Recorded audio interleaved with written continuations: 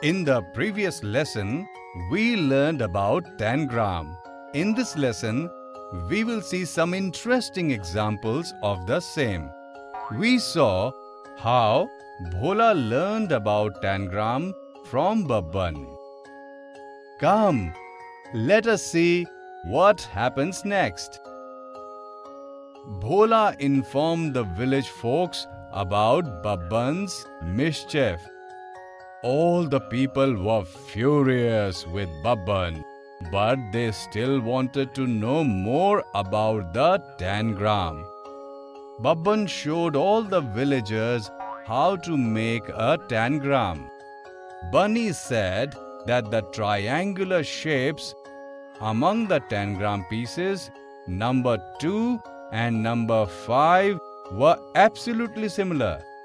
Children, is Bunny right?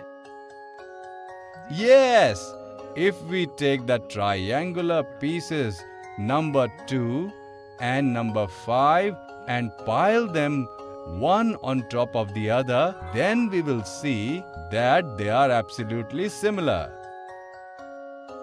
Duck Uncle said that he can only use three pieces of tangram to make two squares. Golu said that he can only see one square. Children, can you say how uncle made two squares? Well done, children. Your answer is absolutely correct. The piece number 3 is a square and we can join pieces number 2 and 5 this way and make a square.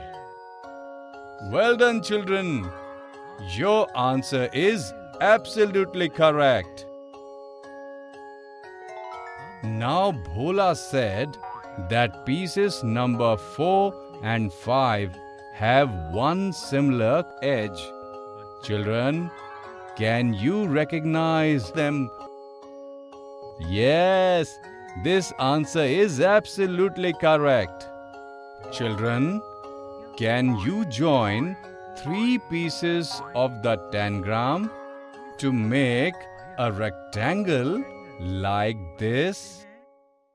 We can join pieces number 2, 4 and 5 in this way to make a rectangle like this. All the villagers enjoyed learning about the tangram. Babban said that he will tell them more interesting things about the tangram the next day.